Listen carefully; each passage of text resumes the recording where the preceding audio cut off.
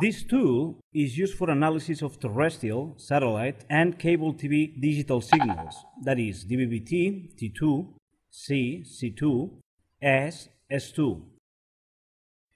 The HD Ranger field strength meters are compatible with QPSK 16, 32, 64, 128, 256, 1K, and 4K QAM besides 16 and 32 APSK constellations.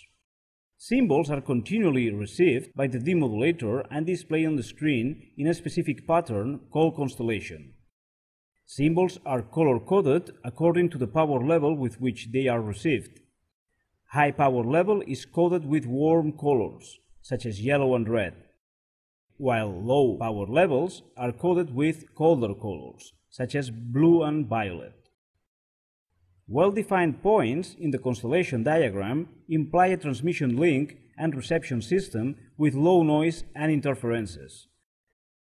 Symbols appearing scattered around their ideal positions in the constellation convey a transmission link and reception system with a higher degree of noise and interferences.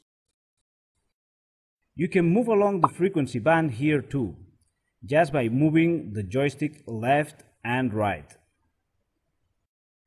If we press F4, we will access to the constellation setup menu, where you can zoom in any of the four quadrants.